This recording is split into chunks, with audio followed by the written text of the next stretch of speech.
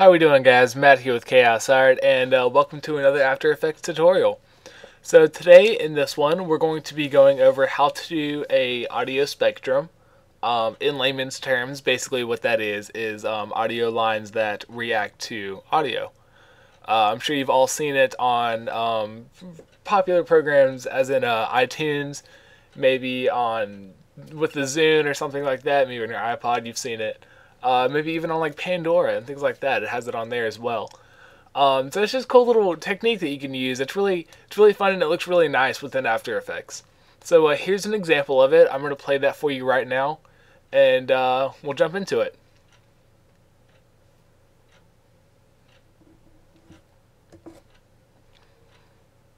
Alright, so uh, I hope you enjoyed that. That's just a little kind of sequence that I made for myself, just something really quick. It was to a dubstep song, and uh, it, it, the dubstep kind of made it look really funky and really crazy. Uh, if you have more of like a clean like drum and bass kind of song, it'll look really good. So uh, let's go ahead and jump into this. The first thing that you need to do is create a new composition.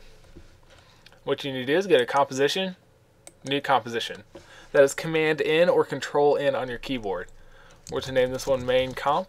It's a little technique that I use. I create a main composition, then I make a sub composition for all of my contents. Okay, and I'm going to make another one. This is for personal use. You can make one or as many as you want. It does not matter. I'm going to name this one audio lines. There we go. So now that we have this, next thing you want to do is create a solid.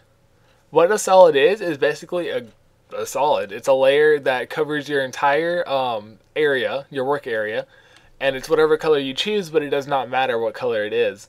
Because what we're going to do is replace the color with the effect that we're trying to create. So you can press Command Y, Control Y, or get a com or, uh, sorry layer, new, solid. And you should see it right here. You should get the exact same menu. It may not necessarily be black, but everything else should look the same. I'm going to name this one Audio Lines. Nope. There we go. U-D-I-O-L-I-N-E-S. There we go. So now you can see my background was black, but there is a black uh, black box here. You can kind of see with the squares, the edges of it, and tell there is one there. And we have a layer down here named Audio Lines. So the next thing that we want to do is go to our effects and presets. Uh, that is located on the right side of my screen. It may be somewhere else for you. Um, otherwise, with the default settings, it should be located right here on the right side as well. Just go to your search box and type in audio and you should get two options. This is within the default version of After Effects. There are two options, Audio Spectrum and Audio Waveform. Uh, both of these do pretty much the same thing. Uh, Audio Spectrum has a few more options than Audio Waveform does, and that's what we're going to be using today. So just click and drag it over to your layer. Make sure it's on Audio Lines. If you have multiple layers, what you can do is drag it from here down to your layer down here where it says Audio Lines, as long as it's unlocked. So now we have this here on our screen. And you can adjust the size immediately on this. Uh, the hor yes, the horizontal size of it. We have these two dots right here on the left and the right hand side. You can just click those and drag them to however far out you want. I'm going to put them out here to the edge of my screen, both of them. And you can hold down show. You can hold down shift and uh, make sure that it stays within the horizontal region. There we go. I accidentally deleted mine. I brought it back. Need to line this up again. My kind of hit a couple wrong keys and it threw it off. There we go. Everything's back where it needs to be. And um, you sh should still look something very similar to this. Uh, the first thing that you need to do also is import a audio file. Whether that is a video or a song, either one will work for you. Just make sure that you have it within After Effects and you import it to this composition. I'm going to go ahead and do that myself. Just File, Import, File, and then mine should go to there we go other videos that I have right here. I want to change this one to let's use vectors. Vectors open. There we go. So now we have I have my vectors video in here. You can import anything that you please it does not matter. I'm just gonna click that bring it down below our audio lines. Does not matter how big it is does not matter if it's visible or if the audio is even playing. As long as you have the file imported, it will work for you. So I'm not going to worry about resizing it or anything like that. I'm just going to turn off the audio and the video.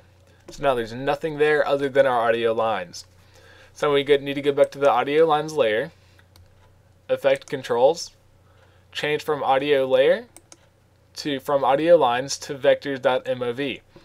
Whatever your other file may be that has audio on it is what you need to select here that you want it to be based off of. So now whenever there's audio coming out of this layer, it will react to this layer. I'm going to bring this back a little bit to have me talking. I usually have a little bit of a delay in it. Hmm. There we go. Okay, I must have taken a really long delay with that one. Alright, so you can see right here that I have a couple lines bumping up, and it, it starts, it looks okay. You know, we can do a lot more with it. So the next thing that we want to work with is our maximum height. Default is 480. I like to push mine up between 1,000 and 2,000. Um, what that helps you do is see the lines a lot better. It makes them a lot larger and a lot easier to work with and see. So I'm going to put this one on 1500. There we go. It basically doubled the size of the lines. And if that's still not big enough for you, you can make it much bigger than that. Next thing that we want to work with is the amount of lines that we have here. The frequency bands is what it's called. Um, each individual line here is a frequency band, and currently we only have 64. I want to push this up to about 175. Uh, for a composition in 1080p, 175 generally makes it the correct size. It's with width at least. Um, it puts the maximum amount of lines in there without them overlapping and looking very bad. You can make this less or more if you please. I try, try to keep mine between 150 and 200. So now that we have this, you can see it even better with all the lines and the way that the audio is working with it. So we have a couple more options over here that we haven't went over yet. And I'm just going to start at the top and work my way down and we can talk about each one. So you have your start point and end point. That's what we're messing with here, the start point and the end point. I try to leave those alone. You can always click on it and change it to wherever you please. Don't like it there. Let's just press Command Z and take that back. Then you have your endpoint. You can see right there. So I'd like to leave those exactly where they are. You have your path. I'll leave mine on none because I'm not working with a pen tool to give it a path. I'll use polar path. That is based off of your path as well. I don't have any paths, so it's not going to do anything. Start frequency. It's starting the frequency at 20. I generally try to leave that alone as well. You can change it to whatever you want. It's just going to start at where your frequency is going to start at. So the lower you make it, the farther this way it'll be. The higher you make it, the farther this way it'll be. So I'm going to push mine back on 20. There we go. And especially in this video, since my voice is kind of deeper, it's going to stay on the left side of the uh, left side of the frequency band more than the right side. Just due to my voice being deeper, if you have a song with lots of highs and lows in it, it'll look a lot better and a lot more uniform. So next thing we have is frequency bands. We've already went over this, and then end frequency which is all the way over here, 2000. So it starts at 20 and it ends at 2000. If you wanted to take this down, you could do 200. And you can see that it gives you this little margin to work with right here. 2000 is going to give you that optimal look. What, a lot of these controls too you can mess around with for your specific audio and try to come up with a new style for it as well. So we have maximum height 1500, we've already talked about this. Audio duration, I'd try to leave mine at 90 pretty much what it's going to do is, as your duration of your audio, how long it's going to stay on there for you. So if I put this back at 90, you can see that it'll stay on there for as long as my audio is playing. You can kind of see it there, the movement of it. There we go. leave it there. Then we have our audio offset. I'll leave it at zero. Don't want it to be offset of the audio itself. Uh, just a little technique that there is to use with that. Um, nothing that I really recommend using or I try to use myself, but I'm sure it could be useful in some cases. Thickness is the individual thickness of each line on here. We have 175 lines. I try to leave mine at about 3. If you wanted to take this down to, let's say, 100, and you wanted to bump the thickness up to 6, you can see it's much thicker and it gives you a lot different look. It may look better in uh, certain scenarios that you're trying to work with, but for this one right here, I'm just going to take mine back down to 3 and put this up at 175 again. There we go.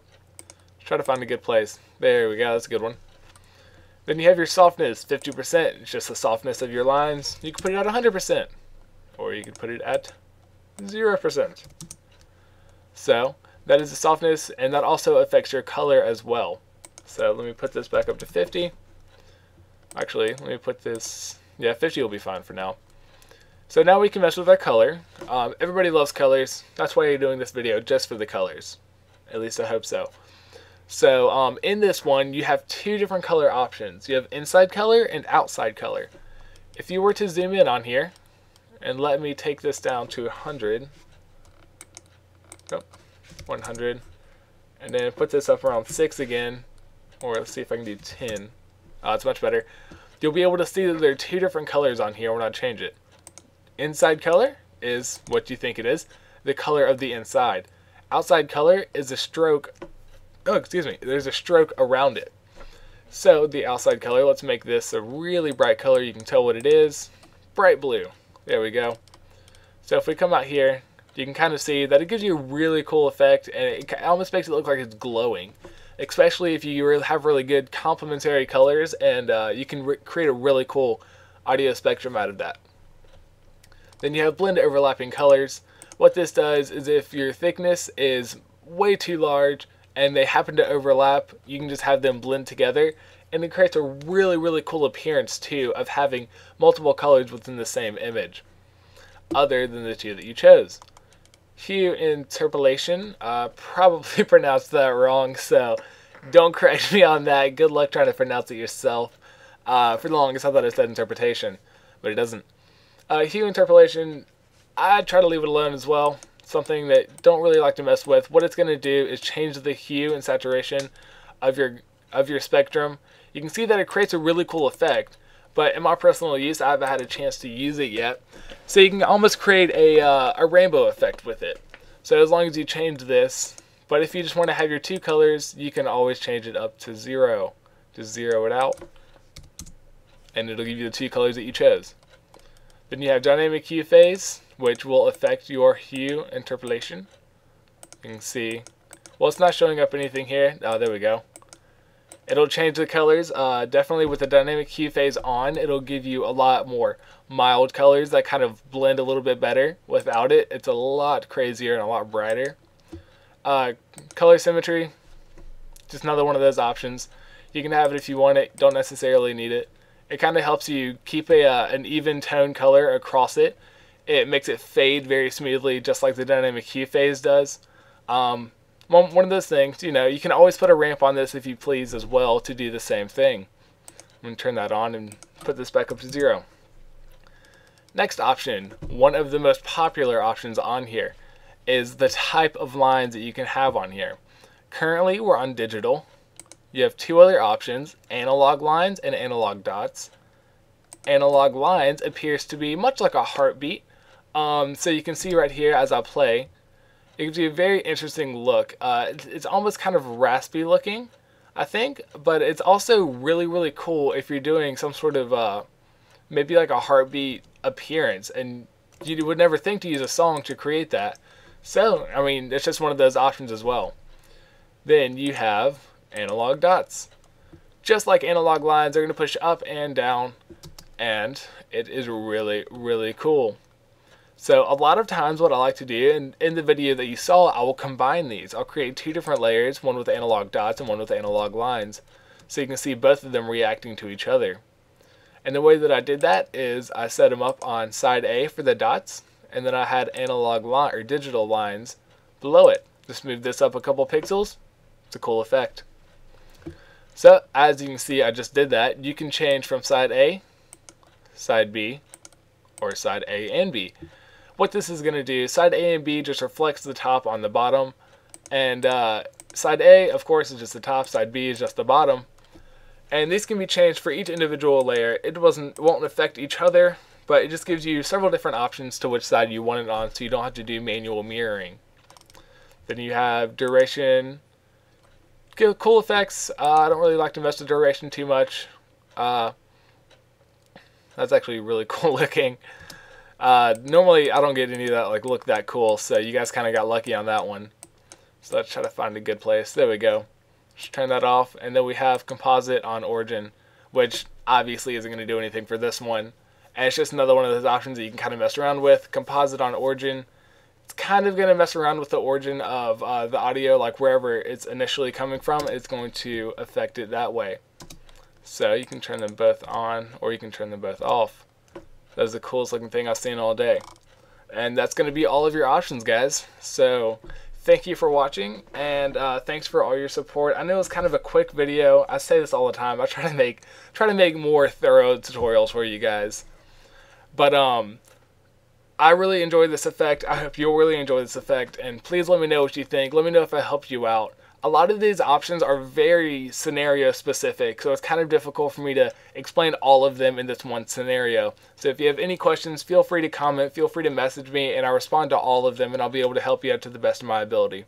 So thanks again, and I uh, hope this helped you out a lot.